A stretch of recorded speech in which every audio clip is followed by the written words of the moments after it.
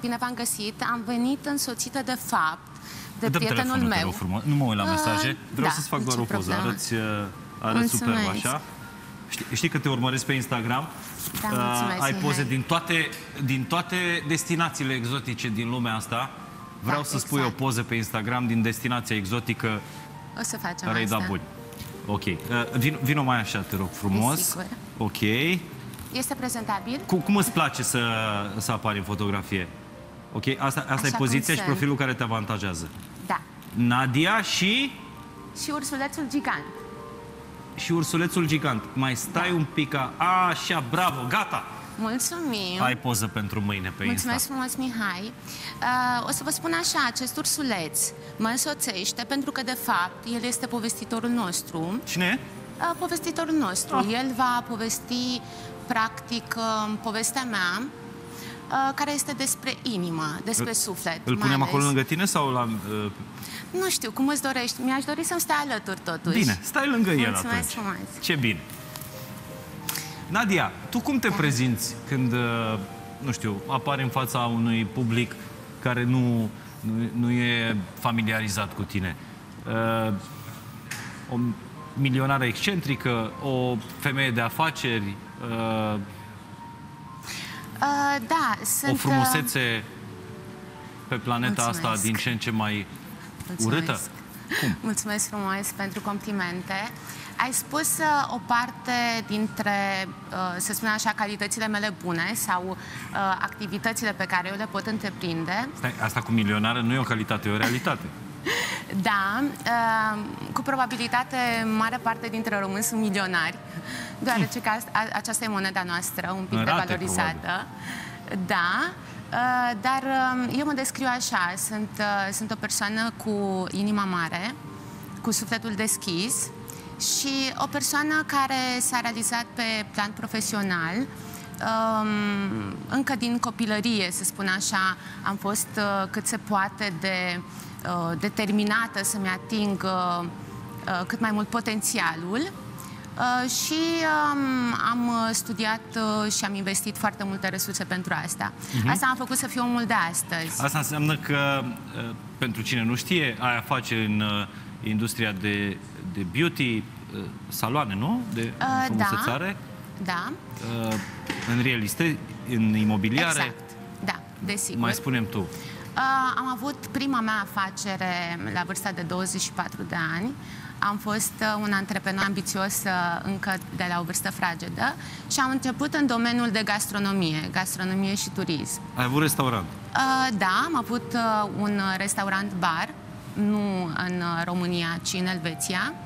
Uh, da, asta a fost începutul, iar în România am început, uh, uh, înainte de celebra criză în 2008, uh, o afacere de import cu scutere, mai puțin potrivit pentru o um, femeie, să spun așa, domeniul de activitate, însă mi-a plăcut foarte mult. Uh, și după care m-am uh, îndreptat la sfatul uh, și încurajarea uh, logodnicului meu, Alexandru, Alex, uh, să intru în uh, industria de beauty, ceea Am ce înțeles. fac și în ziua Ceea de ce astăzi. faci și, uh, și acum. Da. Asta, e, asta e traseul tău uh, profesional. Asta te definește pe tine drept femeie de carieră. Dar tu ești Da. uh, și o femeie de cuplu. Uh, pentru că înțeleg că foarte multe dintre realizările tale profesionale se datorează stabilității pe care o ai în cuplu. Și ai spus de logodnicul tău, Alexandru, pe care l-ai cucerit acum 9 ani de zile. Da, da. Da, Și a- suntem o excepție. și încă nu cuplu sunteți cu durată. căsătoriți. Um, încă nu suntem căsătoriți din punct de vedere oficial. Însă legătura noastră este extrem de, de strânsă, de trainică și de durabilă. Și um, cred că suntem aproape de pasul, de punctul în care să trecem mai departe. Oricum, 9 Da. 9 ani e cam perioada critică. Dacă nu o faci acum, Nu mi-am pus această întrebare. statistică spune, adică ce spun Da. cercetătorii britanici, nu... Uh, Sper să fim o excepție de la regulă, mai ales că în zilele noastre sunt uh, uh, nu foarte multe exemple de cupluri durabile și să fim ex- un exemplu și anul acesta de ziua mea uh, vom uh, avea împreună, de fapt, un deceniu, dragii mei, 10 ani, Wow. și putem încorona acest moment exact cu pasul următor de care tu spuneai. Dar ursulețul e de acord cu ce spui, că ai spus că el e povestitor în seara asta. Uh, Da, ursulețul uh, vine um, din uh, perspectiva mea mai sensibilă, Copilă voasă.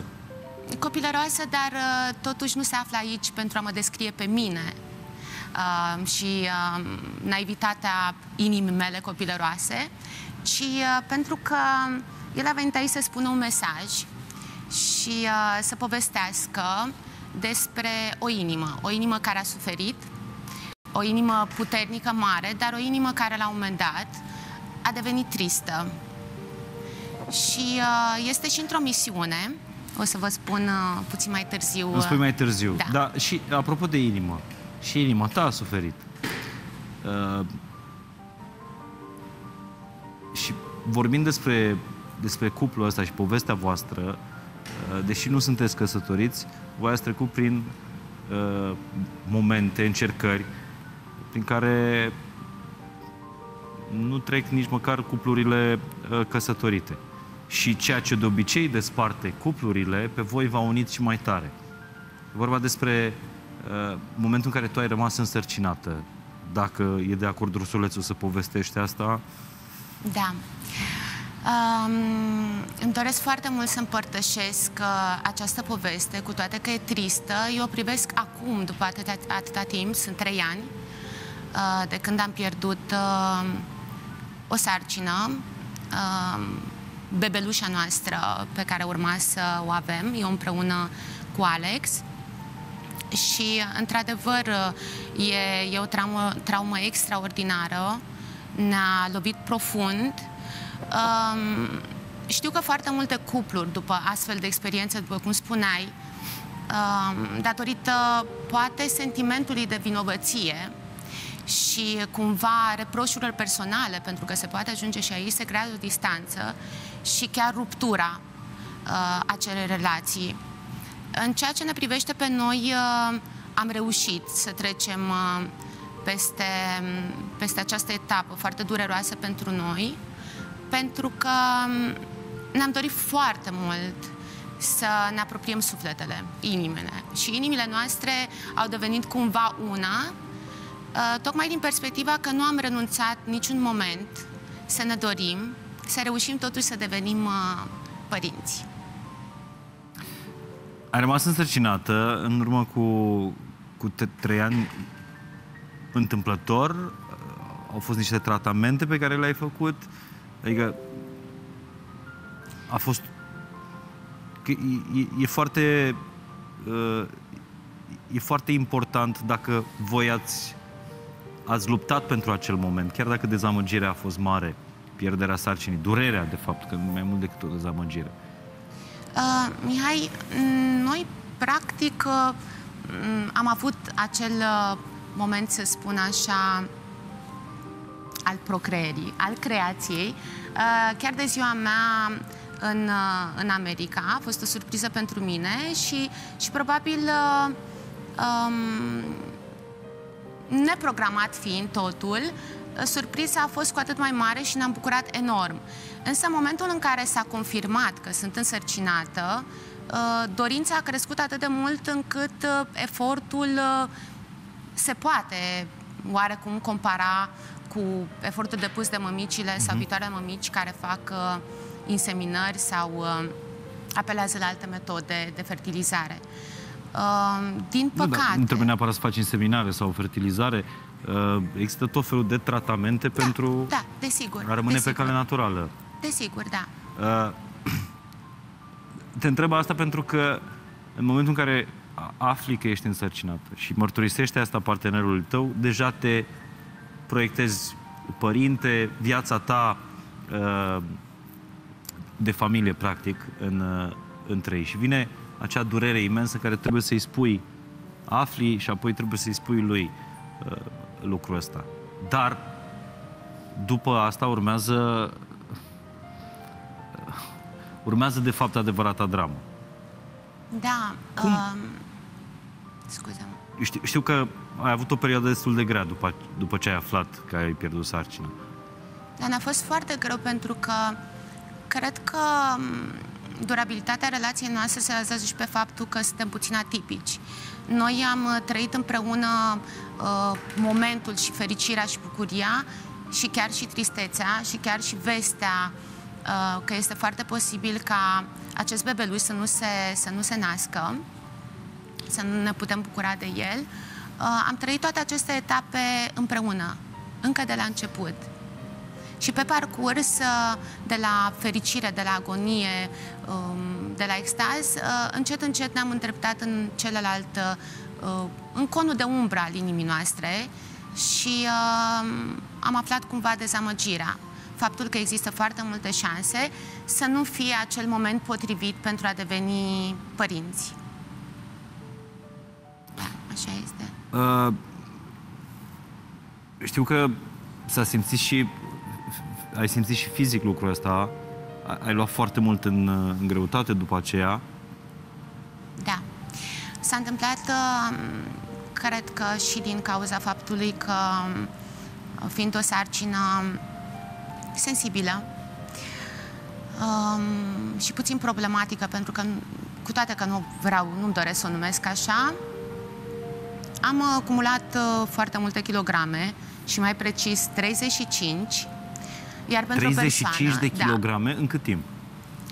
Um, pe parcursul la circa șase luni. Uh, într-adevăr, înainte de sarcină, trebuie să recunosc că nu eram chiar în forma mea ideală, adică de la Adică greutatea... exact cum arăți acum. Uh, nu, eram puțin, uh, să spunem așa, mai voluptoasă. Păi nu, ideal cum arăți acum. Da, Asta... A, așa am fost toată viața, uh-huh. adică ăsta e tonusul meu. Eu am fost puțin mai silfid, așa, ca, ca, ca trup, să spun. Dar uh, înainte de sarcină, într-adevăr, uh, eram puțin mai voluptoasă, aveam, cred că, 5 kg în plus. Trebuie să recunosc asta, însă pe parcursul sarcinii, din păcate s-au adunat aceste multe kilograme, dar pe care eu atunci nu le-am simțit. Fericirea și bucuria mea uh, și trăirea, pentru că trebuie să spun, Mihai, că eu am trăit uh, această poveste, această sarcină, ca și cum am fost mamă. Deci eu am trăit sentimentul matern și mi-am trăit experiența alături de, de bebelușa mea, ca și cum... De atâta vreme cât îi da. bate inima, ai, ai exact. o ființă da. în tine. Da. Și aceste kilograme atunci nu le-am resimțit, ba din contră, chiar nu păsa de ele, nu, nu m-au deranjat cu absolut nimic, însă în momentul în care am pierdut uh, sarcina, într-adevăr uh, a fost extrem de greu. Uh, să-mi revin, în primul rând, uh, din punct de vedere sufletesc, mental, emoțional, eram cumva pe, pe acea margine a prăpăstiei și urma să, să cad uh, în acest neant, însă mi-am revenit uh, datorită lui Alex, pentru că mi-am dat seama că este el în acel moment mai expus decât mine. Și uh, revenirea mea s-a datorat în mod special datorită lui și m-am regăsit foarte mult în sport. Asta mi-a dat forța să merg mai departe. În primul rând, uh, um, forța, puterea, voința, Adică sportul nu te-a transformat doar fizic, ci și mental. Mai ales mental. Da. Noi ne-a schimbat foarte mult viziunea despre viața, această experiență, iar sportul, atunci când a venit în uh, viața mea, a fost momentul oportun, pentru că mi-a dat claritatea minții foarte mult și uh, motivația că pe viitor uh, îmi voi reveni, voi fi într-o formă fizică și psihică bună și voi avea șansa să, uh, să devenim părinți alături, eu alături de Alex.